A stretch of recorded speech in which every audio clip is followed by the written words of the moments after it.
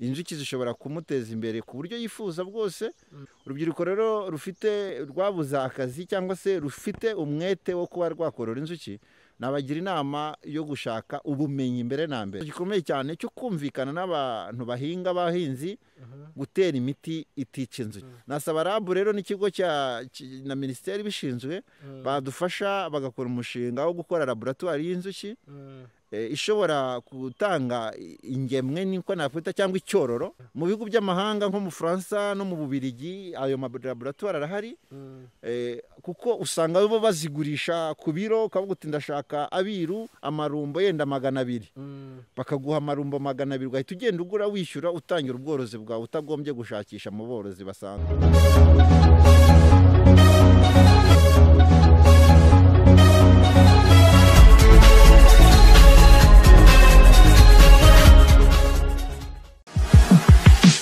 Komeza kugira ibihe byiza wowe nshuti yacu y'akadasohoka ukunda ibiganiro byacu by'icyuzuzo tv nizere ko umeze neza cyane. Nk'uko duhora tubifuriza kugira amahoro imana itanga ni na yo mpamvu nanone uyu munsi nongeye kukwifuriza kugubwa neza ndetse no kumererwa neza cyane ufite ubuzima buzira umuze. Ubuzima kugira ngo buzire umuze uba wariye wananyweye. Ukenera kurya ibiryo bitera imbaraga ibiryo byubaka umubiri ndetse n'ibiryo birinda indwara kugira ngo ubashe kuba wamera neza. Ayo mafunguro nta handi yava atavuye mu buhinzi ndetse n'ubworozi. Nk'imwe mu myuga navuga ko ari uruti rw'umugongo rw'ubukungu bw'igihugu cyacu. Dusanzwe tubana ku cyuzuzo tv nk'uko bisanzwe tubagezaho ibiganiro byiza cyane byerekeranye n'ubuhinzi n'ubworozi cyane ko icyuzuzo tv ari ijwi ry'ubuhinzi n'ubworozi. Kuri uyu munsi murimo murabireba neza cyane. Twatembereye nk'ibisanzwe. Imyuga y'ubuhinzi ndetse n'ubworozi idakomeza gukorwa ariko ngira ngo abantu batekereza gutyo baba bibeshye twagiye tubatembereza henshi mukabona icyo abaturage bahuye. Uyu munsi rero twagiye mu karere ka huye n'ubundi. Mwaramutse? Mm, uratangiye twibwira tubwire impamvu wahisemo korora inzuki. Utubwire n'iki inzuki zikumariye amazina nitwa munyaneza werarisi nkaba ndi umuvumvu wabigize umwuga. Nkaba nororera inzuki muri iri shyamba rya ruhande benshi bazi ku izina rya ruboretumu eh, ni rya kaminuza ariko igipande kinini kikaba ari igipande ki- kiyoborwa na rabu Eh, ese korora inzuki wabitangiye ryari? Igitekerezo cyaje gute? Kuki wahisemo korora inzuki?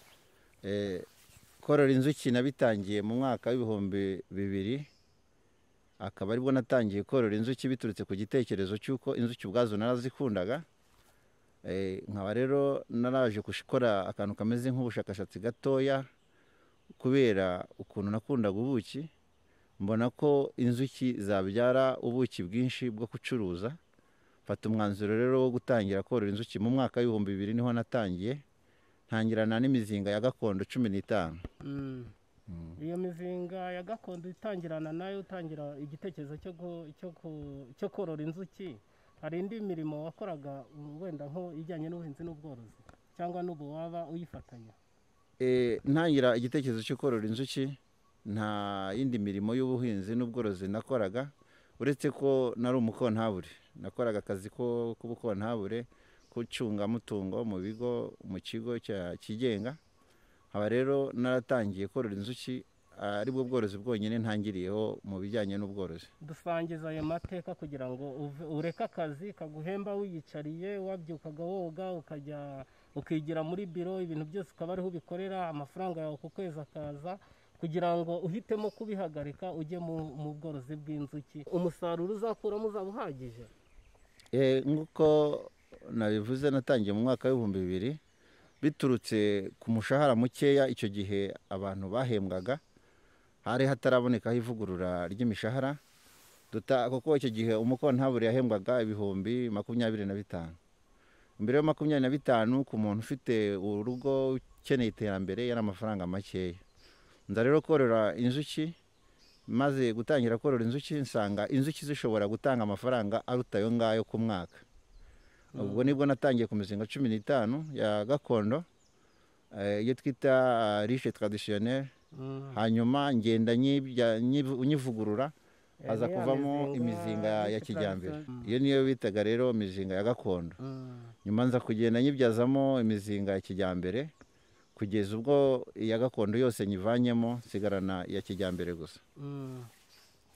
Kuva watangira muri bibiri tugeze muri bibiri na makumyabiri na rimwe turashaka watangire ku mizinga cumi n'itanu ese uyu munsi bihagaze bite bimeze bite? Kuko wadutembereje iri shyamba ahantu hanini hagiye hari imizinga yawe kandi batubwiye ko ariho hakeya ko utatuzengurukije ahandi ese bi- bihagaze bite uyu munsi muri bibiri na makumyabiri na rimwe? Muri bibiri na makumyabiri bibiri na makumyabiri na rimwe ubu ngubu ngeze ku mizinga irenga ijana ya kijyambere ariyo bita rishe moderne. Mm, Ah, ubwo rero twaje gusanga umuzinga wa kijyambere wera cyane kuko ukuba inshuro zigera mu icumi umuzinga wa gakondo. Mm, umuzinga wa gakondo ushobora kwera ibiro bitanu kugeza ku icumi mu mwaka. Mm, mu gihe umuzinga wa kijyambere wera ibiro makumyabiri kugeza ku biro mirongo itandatu mu mwaka. eh, harimo harimo itandukanirizo rinini haba harimo ikinyuranyo kinini Mm. ni cyo cyatumye mfata umwanzuro rero wo guhagarika akazi kose. Mm, ninjira mu bworozi bw'inzuki. Mm, nkaba imizinga irenga ijana ishobora gutanga umusaruro utagereranya n'akazi ko ku kwezi. Ikintu cya mbere cy'imbogamizi mu bworozi bw'inzuki mu rwanda ni ikijya- ikijyanye n'urwuri rutoya. Ni ukuvuga ngo Urwuri ni ukuvuga iki? urwuri ni amashyamba. Amashyamba ah, manini inzuki zikenera amashyamba manini urareba nk'iri shyamba ukuntu rimeze ntabwo ushobora gutereka imizinga irenga ijana ahantu hamwe Mm, tugenda dutereka imizinga yenda cumi n'itanu cyangwa se icumi ku, gasite kamwe kamwe mm, tukarenga metero runaka. Ubundi mu mabwiriza y'inzuki bavuga ko nibura urenga metero magana atatu mm, ukabona kuba watereka urundi ruvumvu kugira ngo inzuki ze kubyigana mu biti zi- zidacuranwa. Aha rero mu imbogamizi ya mbere mu rwanda dufite amashyamba matoya mm, ugereranyije yenda n'ibindi bihugu byo mu karere mm, tukaba dufite abavumvu badabona ubwisanzurire mm, batabona urwuri ruhagije. Nk'ubu ntabwo nakora umushinga wo korora imizinga igihumbi ngo nzabone aho nyishyira. Byamvuna cyane. Kandi mu gitekerezo twashakaga kugira nibura ku mizinga igihumbi kugira ngo twizere umusaruro munini cyane. Ariko nibura indi mbogamizi ihari ni uko abantu ntibarasobanukirwa ubworozi bw'inzuki. Mm, habamo abonona cyane Mm. eh, ugasanga inzuki aho baziteretse abantu ba- ba- bazihiritse abandi bazononnye mm, kubera ah, kutaziha agaciro. Mm, tukaba rero twanasaba n'inzego zibishinzwe kudufasha cyane cyane z'ibanze kudufasha Mm. kumvisha abaturage cyane cyane urubyiruko mm, akumva agaciro k'inzuki bakumva ko ari amatungo nk'ayandi nk'uko umuntu yubaha inka ya mugenzi we aba ariko yubaha n'umuzinga wa mugenzi we. Mm, indi mbogamizi dufite ni ikibazo cy'imiti iterwa mu, myaka. Mm, Eh, imvumvu nyinshi zigiye zegera ahantu bahinga mm, aho usanga batera imiti n'ubu ya za roketi ishobora kuzibangamira. Kandi iyo miti ni mibi cyane ku bufatanye bwa rabu n'abandi bafatanyabikorwa ba agoronome mm, b'imirenge n'uturere. Mm, tugerageza kumvisha abahinzi yuko bareka gutera imiti yica inzuki ariko Mm. harimo abaduca muri humye bakayitera. Mm. icyo gihe rero bibangamira ubworozi bw'inzuki bikaba bishobora no kugira ingaruka ku musaruro. Hoteli mohuye. Mohuye rwose murahasanga ibintu byose bikenewe muri hoteli. Amashambure meza amasare amasare yo gukoreramo inama buri kimwe cyose kirahari mwarebana na- hamagara nimero uri kubona kuri sikirini yawe. Muri hoteli mo huye umukiriya ni nk'umwani wabo. Guhita babakirana urugwiro. Eh, twari tukiganira n'uyu mu- n'uyu mworozi w'inzuki ni umuvumvu. Muramubona ku mashusho yacu ko baba bambaye mwayabonye. Turashaka kumenya kuva watangira inzuki muri bibiri kugeza uyu munsi bibiri na makumyabiri na rimwe ni irihe terambere inzuki zimaze kukugezaho? Eh, iterambere ry'inzuki inzuki zangejejeho ni rinini cyane navuga yuko inzuki zamfashije kwiga.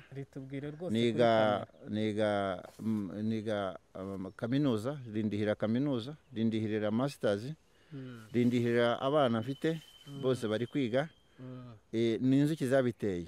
Inzuki zitanga umusaruro ku buryo zafashije no kubaka zimfasha no kuba nakwiteza imbere mu buryo bundi bw'imibereho isanzwe ya buri munsi aho rishobora gutanga umusaruro nibura ah, umushahara urenga ibihumbi magana ane ku kwezi. Eh, ntabwo byumvikana bivuge neza ku buryo abantu babyumva kuko hari igihe umuntu abona inzuki akabona utuntu tw'utuzinga utuntu duteretse aho ngaho tw'udusanduku dutoya nk'uko bari kubibona kuri kamera. Turiya tuntu dushobora gutanga amafaranga biciye mu buhe buryo Eh, inzuki zitanga amafaranga mu buryo bw'umusaruro kuko umuzinga umwe niba twawubariye nibura ibiro mirongo ine ku mwaka Mm, byonyine imizinga igera nko muri mirongo itanu yaguha ibiro ibihumbi bibiri n'itoni ebyiri. Mm, icyo gihe rero niyo wagurisha ku mafaranga make ashoboka nk'ibihumbi bitatu mm, ugakuramo n'ay'abakozi uza gusanga ko ushobora kubona nibura umushahara uri hejuru y'ibihumbi magana atatu mm, bitewe n'uko imyaka igenda isimburana. Hari imyaka yera cyane hari iyera buhoro ariko uko umuvumba amaze kubimenyera nk'uko wabibonye tutereka inzuki ahantu hanyuranye mu misozi inyuranye iyo agasozi kamwe kanze kwera akandi utundi turera. Izo rero zikaba ari ingamba zikomeye cyane ko ubworozi bw'inzuki mm, butanga umusaruro uhagije kandi iyo umuntu abikoranye uburyo abikoze mu buryo bw'umwuga. Mm, gusa ikibazo gihari ni uko abantu benshi babikora nta bumenyi bafite mm, akaba atashobora kumenya icyo ari bukorere inzuki mu bihe binyuranye. Bishaka rero ko inama nagira nk'abantu ni uko bagerageza bashaka korora inzuki babanza bakiga ubworozi bw'inzuki mu buryo bw'ikinyamwuga. Ese amahugurwa y'ibanze tuvuge ko nanjye maze kubona ziriya nzuki zawe zitangiye ndashaka ko umpa amahugurwa y'ibanze umuntu wese ugiye mu nzuki nibura ashobora guheraho. Eh, amahugurwa y'ibanze umuntu yaheraho mu bworozi bw'inzuki ikintu cya mbere ni uko umworozi ushaka korora inzuki ari mushyashya agomba kwiga. Agomba kwiga kubera ko dufite imbogamizi yindi y'uko nta mashuri yigisha ubworozi bw'inzuki mu rwanda ara- aragaragara cyane. Ubu ngubu tugira inama umuntu ushaka korora inzuki kuza akatwegera akegera amakoperative agiye ahari mu ntara zinyuranye. Hari amakoperative yo ku bisi bya huye koperative ikomeye cyane. Y'abanyamwuga hari koperative zigiye ziri mu majyaruguru no mu burasirazuba na kigali zirahari akegera ama- ah, aborozi b'inzuki babigize umwuga bakamwigisha. Ntabwo igiciro kiba gihenze murumvikana bakakwigisha korora inzuki ukamenya imibereho y'inzuki ubuzima bw'inzuki aho zikunda n'ibyo zanga. Kuko inzuki zigira ibyo zanga zikunda amashyamba manini kandi cyane cyane y'inturusu zikagira n'ibihe byo kwera ubwo bumenyi iyo umuntu amaze kubumenya ni bwo yakagombye gutangira ubworozi bw'inzuki mu buryo bwa kinyamwuga. Murakoze cyane. Eh, kugeza uyu munsi mu- muri uyu mwaka wa bibiri makumyabiri na rimwe ndetse nahamya ko no mu myaka eh, mirongo ingahe izaza nta na rimwe umusaruro wari wabura uw'ubuki wabura isoko. Isoko ry'imbere mu gihugu rikenera ubuki bwinshi bwo mu rwanda ahubwo burabura. Noneho dufite n'amarembo bafunguje amarembo yo gucuruza ubuki bw'u rwanda bugemurwa ku isoko ry'i burayi. Rikaba dufite uburenganzira bwo kujyanayo ubuki na dubayi rero nkaba nabwira abantu bashaka korera inzuki ko rwose isoko ryo nta kibazo rihari ubuki bwose wagira niyo washyira itangazo hari uti mfite ubuki bungana gutya bakugurira baguze ahubwo ukabubura. Ashaka nk'ubuki yabubona ate wenda mvuze ngo reka nitahanire nk'akaro kamwe Eh, dufite abafatanyabikorwa dukorana nabo eh, mu buryo bw'ubucuruzi kuko twebwe dushyira imbaraga cyane mu gushaka umusaruro. Ariko dufite nka supermarket ya centre ya huye eh, icuruza ubwo buki tugira n'indi mini mini market iri iri hano mini alimentation iri hano imbere kwa bihira mu- kuri hoteli kasa. Bacuruza ubuki bwacu muri huye ni ho wabubona cyane cyane. Ko hari igihe tujya tujya mu ma supamaketi kugura ubuki bu- ugasanga burakemangwa ko bashobora kuba hari ibyo bawuvangiramo kugira ngo batubure ibiro. Izo mbogamizi umuturage yakizera ate ko ntazirimo aho mugemura ubuki E, twebwe ubuki bwacu mu masezerano twagiranye n'ibigo bishinzwe ubuziranenge ikigo gishinzwe ubuziranenge ni uko ubuki iyo usanze budafite ubukemanga wamaze kubukoresha urabutugarurira.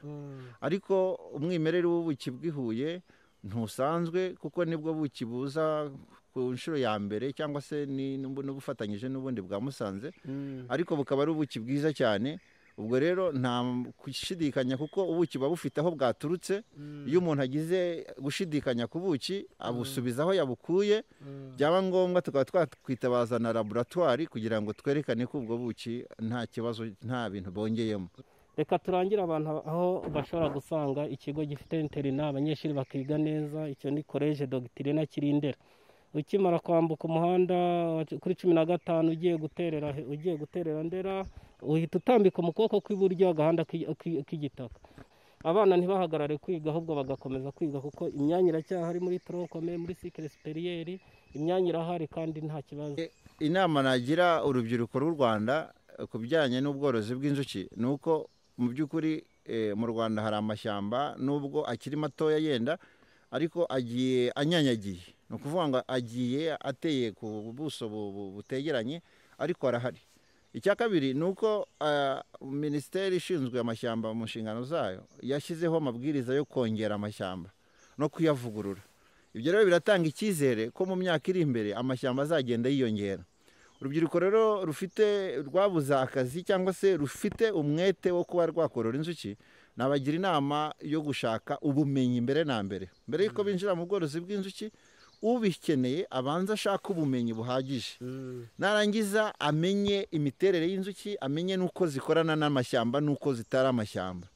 Inzuki zishobora kumuteza imbere ku buryo yifuza bwose akabasha gucuruza ubuki kuko ubuki harimo ubuki harimo n'ibindi bikomoka ku nzuki nk'urucumbu nk'igikoma cy'urwiru ndetse n'imishashara ivamo amavuta ibyo byose ni poroduwi cyangwa se ni porodagiti zigenda ziva ku bworozi bw'inzuki abantu bataramenya kubyaza umusaruro. Aha rero nashishikariza urubyiruko gukora umurimo ariko babanje gushaka ubumenyi. Kuko benshi bajya muri bizinesi cyangwa se mu ishoramari ry- ry'imishinga itandukanye bikabananira kubera ah, ubumenyi bukeya. Inzuki rero zikaba zifite umwihariko zishaka kuzijyamo uzi icyo ugiye gukora uzi imiterere yazo uba umufiteho ubumenyi buhagije. Nkaba nabashishikariza rero kwiga ibijyanye n'inzuki bamara kubimenya bakabona kwinjira mu bworozi bw'inzuki. Mm, twabonye wambara imyenda tubona urahindutse. Tugiye kubona tubona urazegereye nta n'ikibazo ufite. Iriya myenda yo iboneka ite? Iriya myenda iboneka mu bigo bi- bicuruza ibikomoka ku nzuki nka harimo nka ridi ridi irabigira i kigali bafite buranshe zabo. Mm, Eh, hari n'abandi ba- bagiye ba- bacuruza ibikoresho bituruka ku, ku, nzuki mm, ni ho tugenda tubigura. Mm, ikindi impamvu ni uko biriya bikoresho ikintu bimara cya mbere ku muntu buriya iyo umuntu yambaye kiriya gikoresho ubwoba ntiyongera kugira ubwoba. Mm, kuko inzuki imikorere yazo zizirana n'umuntu ufite ubwoba. Iyo rero uzambaye n'impamvu ubona wanazicyambaraga ntizinyegere cyane ubwoba buba bwamaze guhagarara. Bigatuma rero uzijyamo utishisha na zo zikanezerwa kuko zumva ko uwo muntu nta bwoba afite. Umwana yiyegekera nk'akazinga kamwe yajya guhakura ukabona ugafata ibisheshe by'amase y'inka Mm. ugashyira ku rujyo cyangwa ku kindi kintu ukajyana umwotsi. Iriya terambere ry'umwotsi riza gute? Ririya terambere ry'umwotsi ryaturutse ku bushakashatsi bwakozwe n'abashakashatsi banyuranye mu bindi bihugu Mm, baza gusanga yuko umwotsi umwotsi na kariya ka- gakoresho kawuzana kitwa amfimwari cyangwa se Mm. ipompe mm, mu ndimi z'amahanga mm, ni ukuvuga ngo icyo kamara kagabanya umuvuduko n'uburakari bw'inzuki. Mm, kuko inzuki zirarakara cyane. Zirarakara cyane mu, miterere yazo karemano imana yazihaye. Mm, zigira ubwenge bwinshi kandi zikabasha no kurwanaho kugira ngo hatagira umuntu uziba umusaruro wazo. Mm, niyo mpamvu rero umwotsi ugabanya amahane ariko ntidukunda kuwukoresha cyane kugira ngo utajya mu buki mo imbere. Mm, ni ugucisha ku mpande gusa kugira ngo inzuki zumve ko ari umuvumvu waje kandi atazibangamiye. Mm, rero akaba atari na byiza gukoresha ibisheshe Mm. ahubwo dukoresha utwatsi twabugenewe twumye dusanzwe cyangwa se ubwoko bwa pinusi cyangwa se shinge mm, nizo zigira umwotsi utaryana cyane kandi utabangamira inzuki mm, Mm. aborozi b'inzuki icya mbere nabasaba ni ugukunda umwuga wa- wabo. Abo umworozi w'inzuki aho ari mu rwanda njye namusaba ikintu cya mbere akwiye gukunda inzuki. Nyuma yo kuzikunda agashaka kongera ubumenyi mu bijyanye n'inzuki. Kongera ubumenyi bijyana no kumenya imiterere y'inzuki kumenya uko zera ese mu muzinga inzuki zera zagombye kuba zingana iki? Mm, kuko zigomba kuba zirenze nibura ibihumbi ijana? Mm, Eh, hagati aho mu mategeko ibihumbi ijana bingana bingana n'ikiro cy'inzuki ufashe irumbo ukarishyira ku munzani ugasanga harimo ikiro ziba zirenga ibihumbi. Nk'iyo ufashe irumbo mm. irumbo irumbo ni inzuki zaguye ahantu ziyegeranyije zishaka nko kwimuka. Mm, icyo gihe ukayishyira nko mu gafuka ugashyira ku munzani zipima ikiro ziba zirengeje ibiro ibihumbi ijana by'inzuki eh, eh, eh, ni ukuvuga rero ngo aborozi b'inzuki ikintu nabasaba mm, nibagira ubumenyi buhagije ku bworozi bw'inzuki ku mateka y'inzuki ku mikorere y'inzuki n'amashyamba uko akora. Mm, babashe gutereka inzuki ahantu hatanga umusaruro. Mm, icyo nasaba ubuyobozi bwa rabu na minisiteri ifite inzuki mu nshingano zayo Mm, minagiri nasaba yuko badukorera eh, laboratwari laboratwari bashyiraho umushinga wo gukora laboratwari mm, yorora inzuki. Mm. idevelopa cyangwa se eh, idevelopa abiru bera. Mm, habaho abiru bera batanga umusaruro hakabaho n'abiru badatanga umusaruro. Mm, nasaba rabu rero n'ikigo na minisiteri ibishinzwe mm, badufasha bagakora umushinga wo gukora laboratwari y'inzuki. Mm, ishobora gutanga ingemwe niko nakwita cyangwa icyororo mm, icyororo cy'inzuki nziza mm, n'amarumbo manini. Mm, mu bihugu by'amahanga nko mu Bufaransa no mu Bubirigi ayo laboratwari arahari. Eh, kuko usanga bo bazigurisha ku biro ukavuga uti ndashaka abiru amarumbo yenda magana abiri. Bakaguha amarumbo magana abiri ugahita ugenda ugura wishyura utangira ubworozi bwawe utagombye gushakisha mu borozi basanzwe. Rero nasaba rabu rwose ko yadufasha hanyuma ikadufasha n'ikindi kibazo gikomeye cyane cyo kumvikana n'abantu bahinga abahinzi gutera imiti itica inzuki. Mm, icyo kintu rwose bakadufasha bakagishyiramo imbaraga kuko kiragenda gishobora kwica inzuki kandi inzuki zigira uruhare runini mu gutuma ibimera byinshi byera neza mu cyo bita polinizasiyo mm. Umuntu ashaka umuzinga wawumuha? E, umuntu ashaka umuzinga ah, twumvikanye igiciro nawumuha. Cyaba gihagaze kuri angahe nimba atari ibanga. Umuzinga w'isanduku ya kijyambere irimo inzuki zihagije zatuma zafasha umuntu ko kubona inzuki kubona umusaruro muri uwo muzinga twamuca ibihumbi mirongo inani. Mirongo inani by'amanyarwanda. Eh, aba ari umuzinga urwiru tworoye neza tuzi amakuru yarwo y'uko rwera kandi rufite impashyi zihagije. Impashyi ni inzuki ntoya zijya gutara. Mm. Eh, ubwo twamuca ibihumbi mirongo inani. Urakoze cyane. Eh, nimero yanjye ni zeru karindwi umunani umunani karindwi kane kabiri gatandatu gatandatu gatandatu. Cyangwa se zeru karindwi kabiri umunani karindwi kane kabiri gatandatu gatandatu gatandatu.